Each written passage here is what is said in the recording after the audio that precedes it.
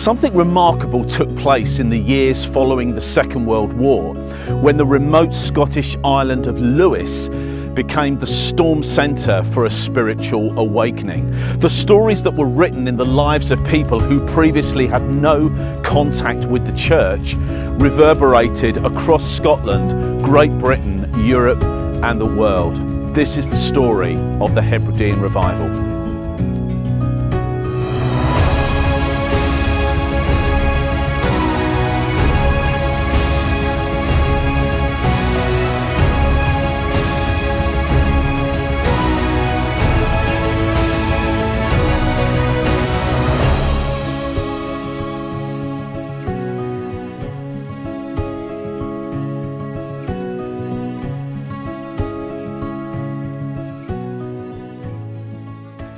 Couple of weeks before Christmas 1949, a preacher by the name of Duncan Campbell began to speak publicly about the saving power of Jesus.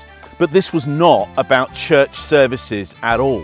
People were encountering God in the heathlands, on the fields, along the beaches, and in the houses and barns across the Isle of Lewis.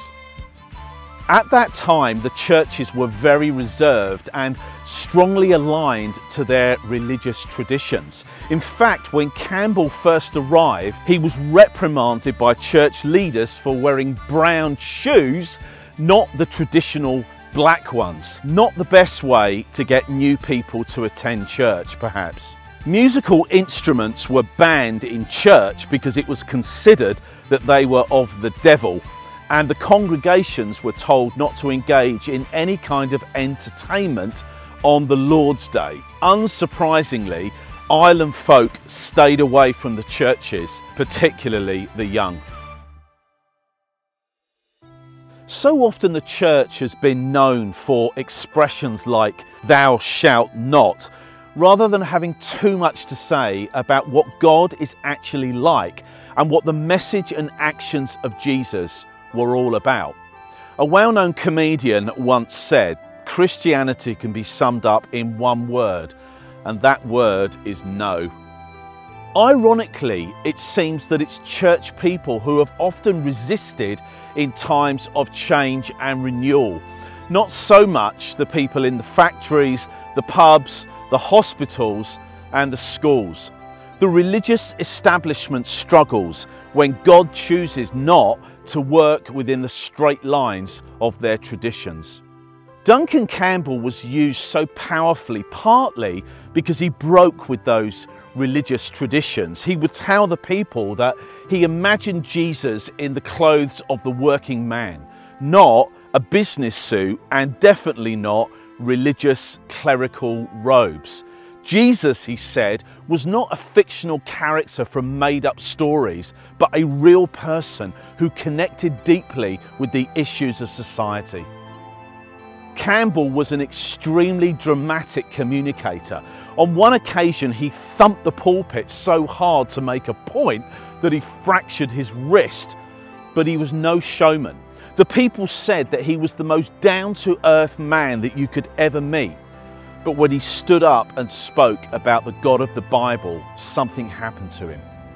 It's obvious from the accounts of Jesus, his messages, his meetings, and his miracles that the ordinary people listened to him, loved him, and left everything to follow him. When he was betrayed by Judas Iscariot and then arrested, he had to be identified. Why? Because he looked the same as everybody else.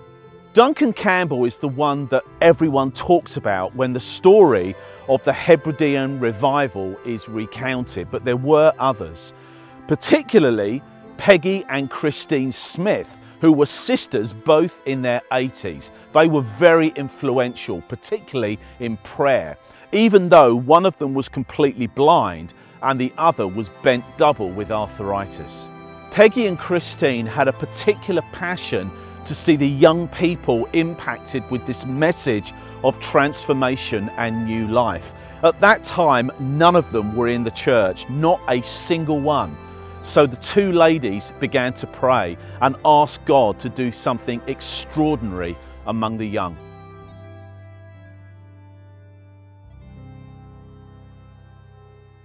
One day, a lorry load of teenagers rocked up outside one of the churches when a prayer meeting was in full swing.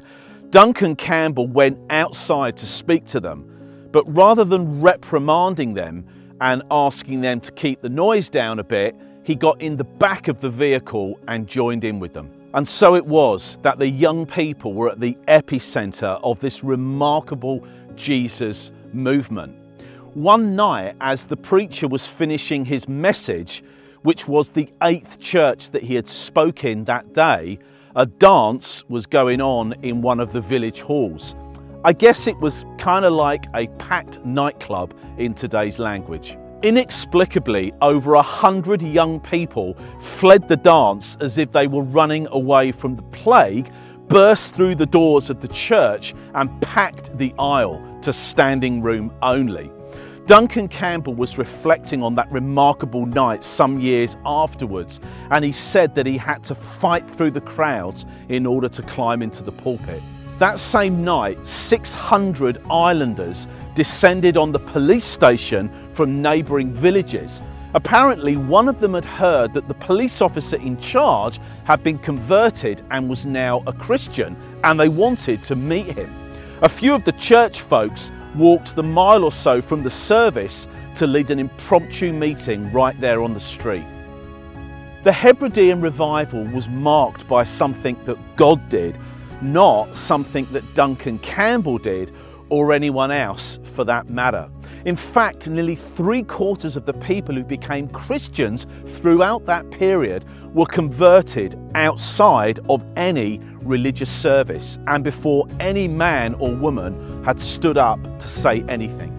Decades after those powerful days on that Scottish island, we find ourselves in troubled times where people are devoid of hope and struggling to make it through life. Even more alarming is that people see the church as completely irrelevant to ordinary working people and their families. We need a move of God's power once again. I pray that it will happen soon.